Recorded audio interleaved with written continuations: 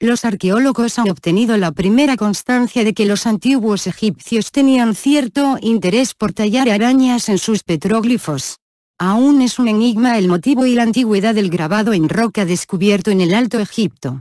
Hallado recientemente en el oasis del Jariyá, el bajorrelieve consta de varias arañas, reconocidas por sus típicas ocho patas, una supuesta estrella, que podría también simbolizar una telaraña, y varias imágenes que presentan cierta semejanza con los peines.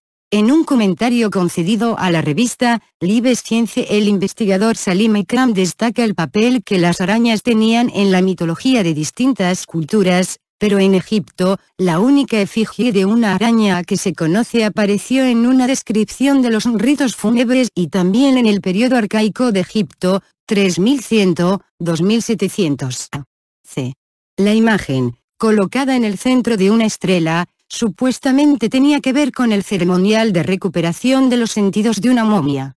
El arqueólogo cree que estas últimas igualmente pueden ser interpretadas como plantas habitadas por los arácnidos o como insectos entrampados. Ikram supone que la araña que se está bañando en los rayos del sol posiblemente tiene un significado religioso.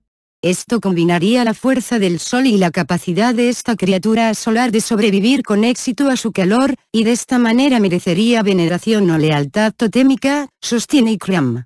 El Jariyá, donde fue encontrada, es un gran oasis sureño del Alto Egipto, que se sitúa a unos 200 kilómetros al oeste del Valle del Nilo, en medio del desierto líbico. Los artefactos hallados alrededor de la piedra grabada con arañas la relacionan con la cultura badariense, que data de los años 4000 a.C., es decir, una época anterior al periodo arcaico de Egipto, también conocido como periodo dinástico temprano.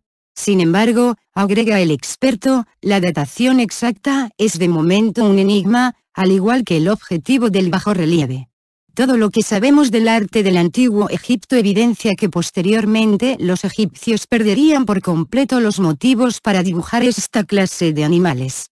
Durante los periodos dinásticos los arácnidos no se asociaban con deidad alguna, ni simbolizaban fuerza alguna en la cosmovisión de esta gran civilización de la antigüedad.